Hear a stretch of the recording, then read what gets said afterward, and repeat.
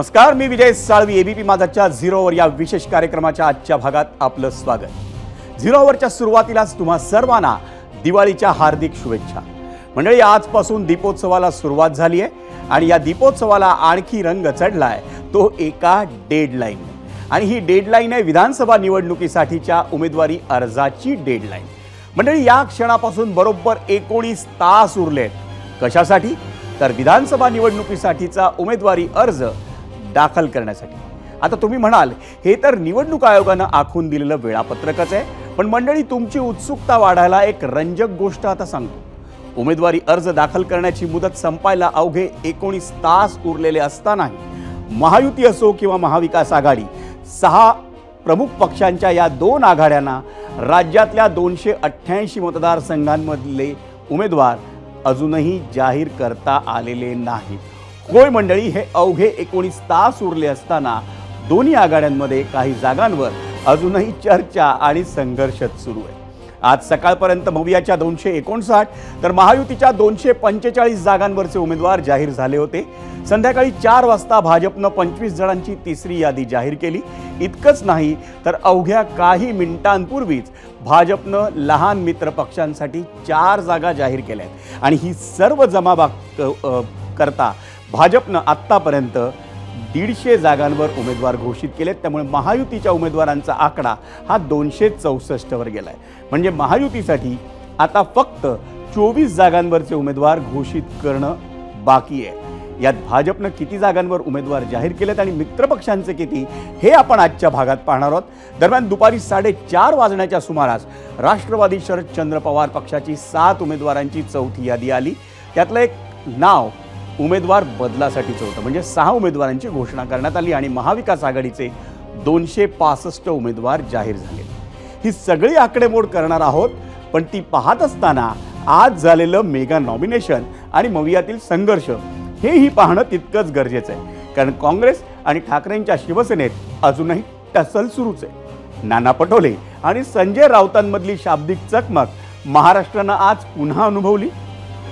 आणि असं असलं तरी मवियाकडूनही जाहीर झालेल्या उमेदवारांचा आकडा हा आता जवळपास दोनशे पासष्टच्या आसपास आहे. आणि त्यामुळे पुढचे काही तास दोन्ही आघाड्यांसाठी महत्त्वाचे ठरणार आहे. आधीच विविध मतदारसंघांमधल्या उमेदवारीचं टेन्शन कायम असताना छत्रपती संभाजीनगरमधून आलेल्या एका बातमीनं उद्धव ठाकरेंची डोकेदुखी आणखी वाढली आहे. त्यावरही आजच्या भागात आपण सविस्तर चर्चा करणार आहोत. सोबतच पाहणार आहोत आज पार पडलेलं हाय व्होल्टेज नॉमिनेशन्स त्यातही अवघ्या महाराष्ट्राचं सर्वात जास्त लक्ष होतं ते बारामतीकडे. बारामतीतून सहा टर्म आमदार पाच वेळा उपमुख्यमंत्री आणि राष्ट्रवादी काँग्रेसचे सध्याचे राष्ट्रीय अध्यक्ष अजित पवार आणि त्यांच्या विरोधात पहिल्यांदाच निवडणुकीच्या रिंगणात उतरलेले त्यांचे सख्खे पुतणे युगेंद्र पवार यांच्यात लढत होणार आहे. याच लढतीवर मंडळी होता आपला आजचा पहिला प्रश्न आणि तो पाहण्यासाठी जाऊयात पोल सेंटरला. आपला आजचा प्रश्न. पहिला प्रश्न बारामती विधानसभा जिंकून अजित पवार हे सुनेत्रा पवारांच्या लोकसभेतील पराभवाचा वचपा काढणार का होय आणि नाही असे दोन पर्याय आम्ही आपल्याला दिलेले होते स्वाभाविक आहे.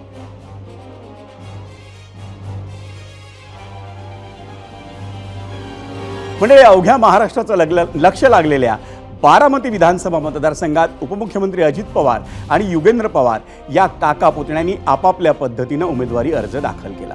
अजित पवारांनी त्यांच्या नेतृत्वाखालील राष्ट्रवादी काँग्रेसकडून तर युगेंद्र पवारांनी त्यांचे आजोबा शरद पवारांच्या नेतृत्वाखालील राष्ट्रवादी काँग्रेसकडून उमेदवारी अर्ज दाखल केला आहे त्या दोघांनी आज कन्हेरीच्या मारुती मंदिरात दर्शन घेऊन आपापला उमेदवारी अर्ज दाखल केला. त्याआधी अजितदादांनी छत्रपती शिवाजी महाराज आणि महामानव डॉक्टर बाबासाहेब आंबेडकर यांच्या पुतळ्यांना अभिवादन केलं. बारामती शहरातल्या छत्रपती शिवरायांच्या पुतळ्याजवळ तर अजितदादा आणि युगेंद्र पवार हे दोघंही एकाच वेळी पोहोचले होते. पण अजितदादांनी समयसूचकता दाखवून युगेंद्र पवार यांना छत्रपती शिवरायांना आधी अभिवादन करण्याची संधी दिली. त्यावेळी अजित पवारांसाठी आलेल्या ढोल ताशा वादकांनी खासदार सुप्रिया सुळे यांना पाहून युगेंद्र यांच्यासाठी ठेका धरला. मंडळी राष्ट्रवादी काँग्रेसमधल्या फुटीनं पवार घराण्यात पडलेली फूट ही सर्वसामान्य माणसांच्या अजूनही लक्षात येत नाही आहे हेच त्यातून स्पष्ट झालं. पण वास्तव हे आहे की शरद पवारांच्या अध्यक्षतेखालील राष्ट्रवादी काँग्रेसमध्ये अजित पवारांनी केलेल्या बंडाच्या पार्श्वभूमीवर उभी फूट पडली आहे त्यानंतर झालेल्या लोकसभा निवडणुकीत सुप्रिया सुळे यांनी बारामती मतदारसंघात अजितदादांच्या पत्नी सुनेत्रा पवारांचा पराभव केला. आता विधानसभा निवडणुकीच्या निमित्तानं पुन्हा पवार विरुद्ध पवार असा सामना होणार असून अजित पवारांसमोर त्यांचे पुतणे युगेंद्र पवारांचं आव्हान आहे. त्याच्यासमोर मला असं वाटतं का की हे आव्हान असेल? आणि जर आव्हान असेल तर ते तुम्ही कसं पेलवणार आव्हान असेल का नसेल त्याच्यावर आज मी तेवढा विचार केला नाही. कारण माझ्यासमोर जरी इथले मोठे उमेदवार असतील तरी माझ्या पाठीशी पवार साहेब. पण समोर उमेदवार बघणार की काका बघणार? खरं तर मी उमेदवार काका असं मी समोर बघत नाही आहे मला फक्त पवार साहेबांना साथ द्यायची आहे. मला त्यांच्यासोबत राहायचं आहे आणि बारामतीकरांसाठी मला काहीतरी करायचं आहे तेवढाच विचार मी करतो आहे बारामती करों ने हमेशा मुझे सपोर्ट दिया है मेरे इलेक्शन में मुझे पूरा भरोसा है विश्वास है बारामती करम के ऊपर कि इस दफा भी मुझे वो सपोर्ट देंगे। उनको वोट देने की मैं रिक्वेस्ट करता हूँ वो मुझे जरूर वोट देंगे। ये मेरा भरोसा है। बारामतीत काका पुतळ्यांनी अर्ज दाखल केले पण मंडळी ही लढत अजित पवारांसाठी इतकी जिव्हाळ्याची. आणि अस्तित्वाची का बनली आहे? त्यासाठी बारामती लोकसभेचा निकाल आपल्याला समजून घ्यावा लागेल. आणि त्यासाठी आपण आधी जाऊयात या मीडिया सेंटरला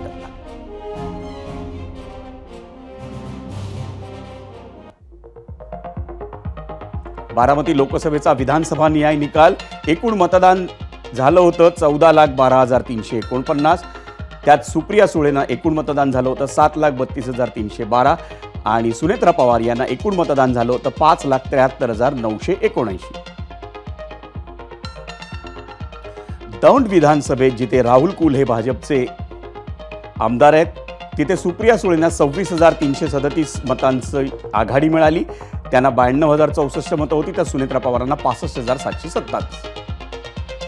इंदापूर विधानसभेत जिथं दत्ता भरणे अजित पवारांच्या राष्ट्रवादीचे आमदार आहेत त्यांना त्या मतदारसंघात सुप्रिया सुळेंना पंचवीस हजार नऊशे एक्कावन्न मतांची आघाडी मिळाली. बारामती विधानसभा मतदारसंघात जिथे अजित पवार स्वतः आमदार आहेत तिथेही सुप्रिया सुळेंना सत्तेचाळीस हजार तीनशे एक्क्याऐंशी मतांची आघाडी मिळाली. पुरंदर विधानसभेत संजय जगताप काँग्रेसचे आमदार आहेत तिथे सुप्रिया सुळेंना पस्तीस हजार दोनशे एक्क्याऐंशीची आघाडी मिळाली. भोर विधानसभा मतदारसंघात सुप्रिया सुळेंना त्रेचाळीस हजार आठशे पाच मतांची आघाडी मिळाली. खडकवासला विधानसभा मतदारसंघात. सुनेत्रा पवारांना वीस हजार सातशे सेहेचाळीस मतांची आघाडी मिळाली आणि तिथे भाजपचे भीमराव तापकीर हे आमदार आहेत.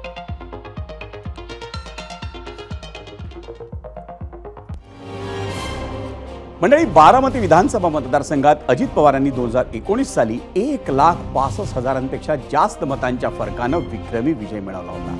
त्याच बारामती विधानसभा मतदारसंघात लोकसभा निवडणुकीच्या निकालात मात्र सुप्रिया सुळेंना तब्बल सत्तेचाळीस हजार तीनशे एक्क्याऐंशी मतांची आघाडी मिळाली. हे आपण आत्ताच पाहिलं. लोकसभा निवडणुकीत अजितदादांच्या पत्नी सुनेत्रा पवारांना बारामती मतदारसंघात मताधिक्य मिळालं नव्हतं. आणि त्याच पार्श्वभूमीवर बारामतीतली विधानसभा निवडणूक ही दादांसाठी प्रतिष्ठेची बनली आहे आणि ही निवडणूक त्यांच्या किती महत्त्वाची बनली आहे याची प्रचिती आजच आली. आपला उमेदवारी अर्ज दाखल केल्यावर अजित पवार हे कनेरीत पोचले. तिथं त्यांनी अर्ज दाखल केल्यानंतरचं पहिलं भाषण केलं आणि त्याच भाषणात अजित पवार भावूक झाल्याचं दुर्मिळ दृश्य पाहायला मिळालं. लोकसभेला आपल्याकडून चूक झाल्याचं पुन्हा मान्य करून अजित पवारांनी एक मोठं वक्तव्यही केलं. बघूयात ते नेमकं काय म्हणाले. लोकसभेची निवडणूक लोकसभेच्या निवडणुकीमध्ये मला नंतर पटलं. मी सुप्रियाच्या विरोधामध्ये सुनेत्राला उभं करायला नको होतं. मी दोन तीन ठिकाणी जाहीर केलं. आज पण सांगतो. मा कधी कधी माणूस चुकतो. मी काय म्हणतो? जो काम करतो तो चुकतो. कामच करत नाही ती कसं चुकल? आणि मी मनाचा मोठेपणा दाखवलं ना माझी चूक झाली. आई सांगते की फॉर्म भरू नका माझ्या दादाच्या विरोधात.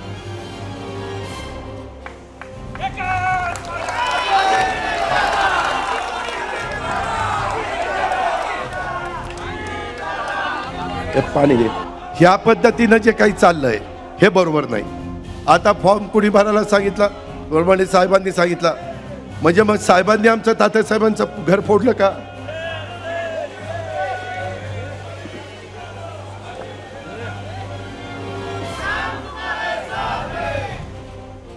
मी जीवाला जीव देणारी माणसं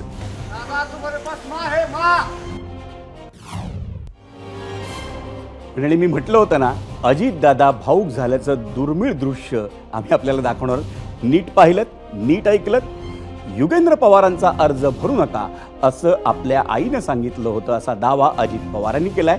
पण अजित पवारांचा तो दावा त्यांचेच बंधू श्रीनिवास पवार यांनी खोडून काढला. युगेंद्र पवारांच्या उमेदवारीबद्दल आपली आई काहीही बोललेलं नाही असं श्रीनिवास पवार यांनी म्हटलंय. त्यामुळे मंडळी पुढच्या महिन्याभरात बारामतीचा प्रचार हा कोणत्या मुद्द्यांच्या दिशेनं जाऊ शकतो त्याचाही अंदाज आज तुम्हाला आलाच असेल. दरम्यान अजितदादांचा मुद्दा खोडून काढताना श्रीनिवास पवार नेमकं काय म्हणालेत आपण तेही पाहूया. मी चूक केली मी चूक केली तेव्हा सुद्धा मी त्याला पोट पोट तिडकीने सांगत होतो की दादा नको करू. आपल्या घरामध्ये ती आपली लहान बहीण आहे जिला आपण अंगा खांद्यावर खेळवलंय जिला चालायला चा पहिलं पाऊल तिनं आमच्यासमोर टाकलंय. आणि तिचं तुझ्यावर खूप प्रेम आहे तर तू हे करू नकोस. तर ते माझं ठरलंय त्याचं वाक्य एकच होतं माझं ठरलंय आणि मी जेव्हा परत त्याला सांगितलं तेव्हा माझी आई पण तिथं होती ती पण ऐकत होती. मी तेव्हा पण त्याला म्हणले की दादा अजून संधी गेलेली नाही आहे तू हे करू नकोस. मला जे माहिती आहे आईने असं काही भाष्य केलेलं नाही आहे हे दादा का बोलले त्यांचं त्यांना माहिती कारण साहेबांबद्दल वगैरे चर्चा बिलकुल झालेली नाही. कारण आईला जसा दादा आहे तसाच युगेंद्र पण तिचा नातू आहे. त्याच्यामुळे तिला दोन्ही सारखे आणि ती कधी राजकारणावर भाष्य करत नाही. त्याच्यामुळं मला नाही वाटत आई असं म्हणाली असेल.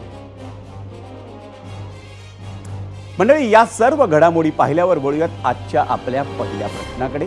राज्यात दोनशे अठ्ठ्याऐंशी मतदारसंघ असले तरी सर्वात हाय प्रोफाईल भावनिक आणि चुरशीची लढत होणार आहे बारामती. आणि त्याच्याशीच निगडीत होता आपला आजचा पहिला प्रश्न.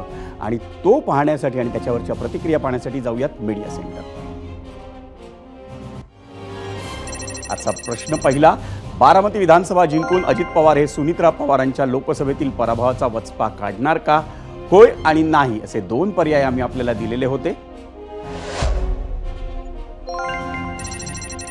एक्सवर अमोल मोरे म्हणतायत कदाचित बारामती जिंकून महाराष्ट्र हरण्याची तयारी अजित पवारांनी ठेवावी.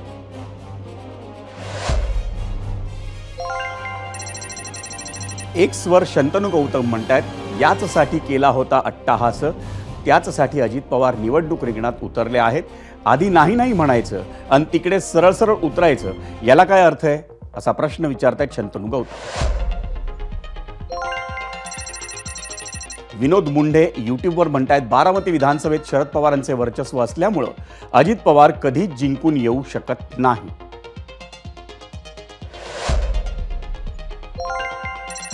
एक्सवर रवींद्र सराफ म्हणतायत दादांना यश मिळेल पण त्यातील अंतर मागच्या खेपेपेक्षा कमी असेल तर तो नैतिक पराभव आहे.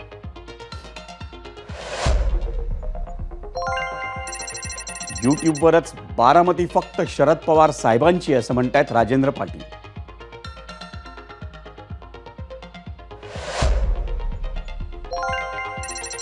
युट्यूबवरच बबनराव पवार म्हणतायत दादा पडणार उभे राहू नका झाकली मूठ सव्वा लाखाची.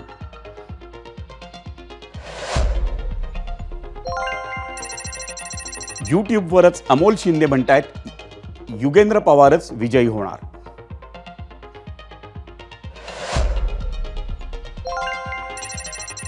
फेसबुकवर उल्हास राऊत म्हणतायत यावेळी अजितदादांना तगडी टक्कर मिळणार आहे. आधी जेवढ्या मताधिक्यानं निवडून यायचे ते कमी होईल.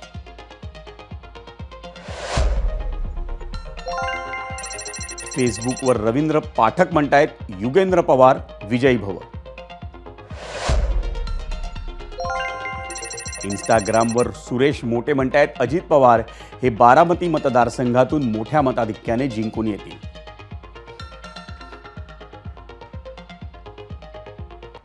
आणि मंडळी झिरो ओव्हरमध्ये आणखी पुढे जाण्याआधी पाहूया झिरो ओव्हरच्या पहिल्या प्रश्नावरचा पोल आणि त्यासाठी जाऊयात पोल सेंटर यूट्यूबवर दीड लाख मतं आली होती. बारामती विधानसभा जिंकून अजित पवार हे सुनेत्रा पवारांच्या लोकसभेतील पराभवाचा वचपा काढणार का? दीड लाख मतांपैकी छत्तीस टक्के म्हणतायत होय पण चौसष्ट टक्के म्हणतायत नाही.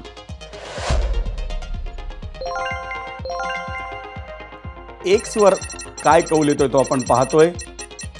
चाळीस टक्के म्हणतायत होय अजित पवार वचपा काढणार पण साठ टक्के म्हणतायत नाही. इंस्टाग्रामवर आपण पाहतोय. कौल अजित पवार लोकसभेतील पराभवाचा वचपा काढणार होय म्हणतायत एकसष्ट टक्के प्रेक्षक पण एकोणचाळीस टक्के म्हणतायत नाही. आणि फेसबुकवर काय कौल मिळतो तो आपण पाहतोय. चौतीस टक्के म्हणतायत होय अजित पवार लोकसभेतील पराभवाचा वचपा काढणार पण सहासष्ट टक्के म्हणतायत नाही. एबीपी माझा. उघडा डोळे बघा नीट.